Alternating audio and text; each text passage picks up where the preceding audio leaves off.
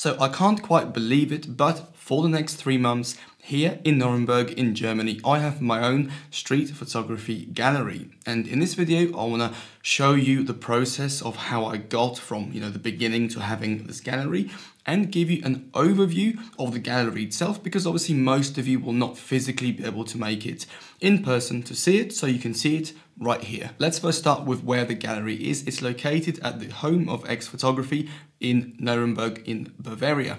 So Nuremberg is a very beautiful town. I've been here a couple of days now and I love it already. The people are very nice, the food is amazing and you can just walk around for hours with your camera and explore this place. Home of X Photography is a specialist Fujifilm store and gallery space located in the heart of the city, as well as stocking all of the usual Fujifilm bodies and lenses, even some classics as well. They have a very specialist gear such as uh, cages and all of those bits and bobs. Moving up to the gallery, there is enough room for around 35 images on the wall, maybe a bit more. And every three months they rotate who they display in the store. Now it's my turn.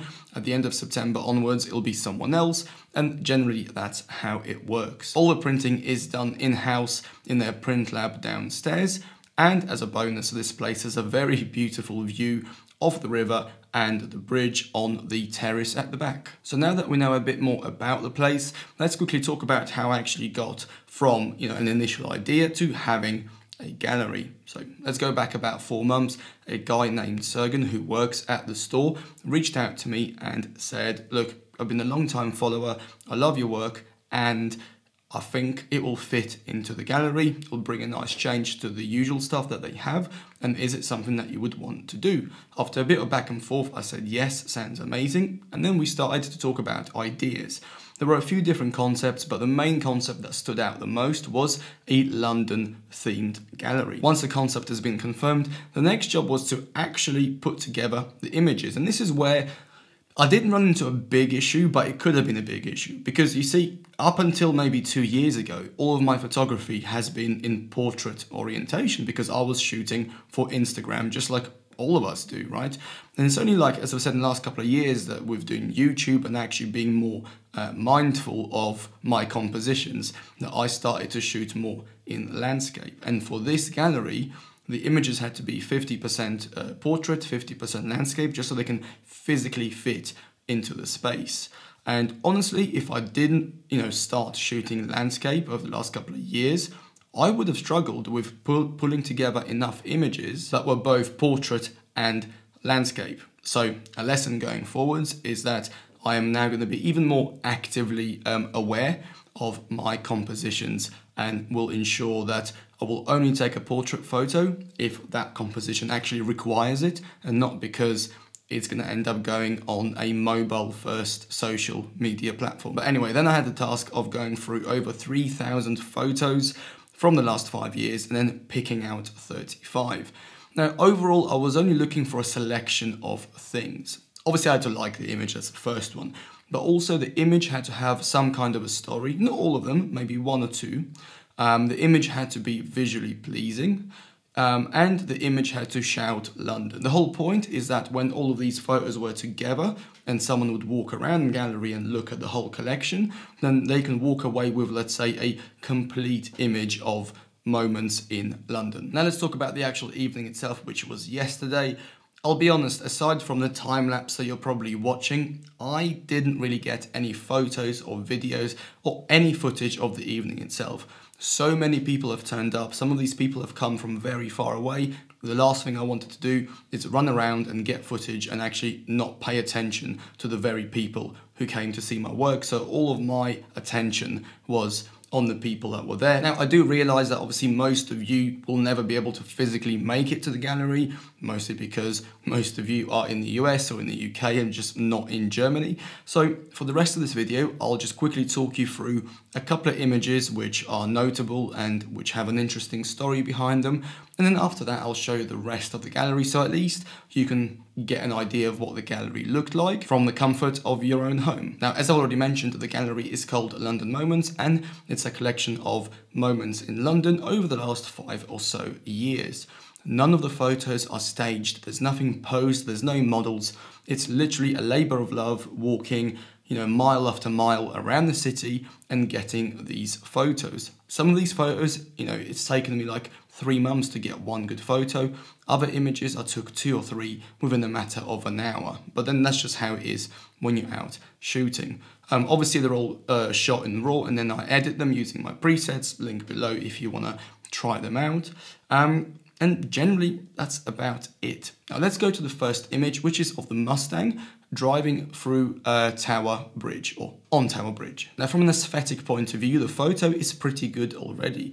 We have good light, we have a good subject, we have good composition and overall it's, I wouldn't say it's not repeatable but you know what are the odds of a Mustang, a classic Mustang on Tower Bridge without any other cars there doesn't happen very often. The cherry on the cake, however, which, at least in my opinion, makes this my favourite photo that I've taken, or certainly that's in the gallery, is that about a couple of months after I posted it, a guy reached out and he said, no way, this is me, this is my car, and it's actually me and my son in the car, and we were driving to sell it. So that photo is literally the last existing picture of them in that car before it was sold. Um, so for them, it obviously means quite a lot.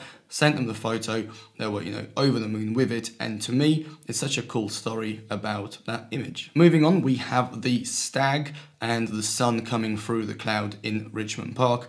Now, to those who are not from London, this is actually in London. Richmond Park is a huge park full of wildlife that's located in South London. It's that big that can take you hours to even just walk around it, and there are certain parts of it you can get lost, and it literally feels like you are in the countryside. Now, on that particular morning, I do remember it was very boring, very grey, very cloudy.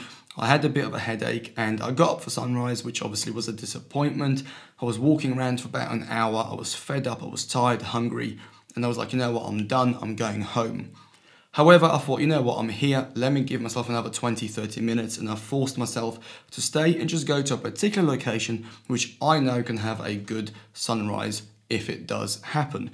As I got there, I could see that the cloud was starting to lift, some fog appeared, and I thought, you know what, maybe we have something. So I got my lens out of my bag, uh, the 50 to 140, put it on the camera. At that point, the sun was a bit more prominent through the clouds, and I wanted to take a bit of an abstract photo of the sun and the trees. As I started to compose, the stag literally appeared out of nowhere, and then the sun became stronger, the whole image became warmer, and I got the shot. Now, some would say it is complete luck. I agree, um, but I also say you make your own luck because if I decided not to stay, I would have been at home and I would have been none the wiser and probably in a bad mood because I would have wasted my morning. So, the moral of this particular photo is if you are feeling like giving up or you can't be bothered, give yourself an extra 20 30 minutes because you might get something good. Okay, that is all. I know I've been chatting for a while. I can talk about the other photos as well, but we'll be here forever. So now I'm to show you a montage of the rest of the images and the gallery um, and then I'll be back with you in a couple of minutes.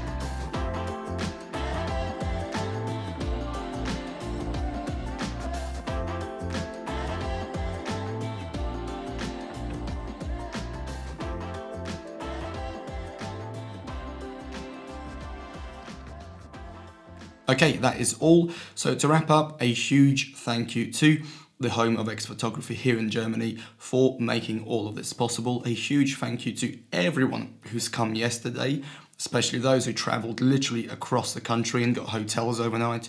And a huge thank you to you who's watching right now, because without you and watching my videos and liking my photos, and chances are I wouldn't be sat here um, making this. Also, apologies for my voice echo, plus I've been talking all day yesterday, so it's definitely gone. Oh, before I go, the images in this gallery are there until the end of September.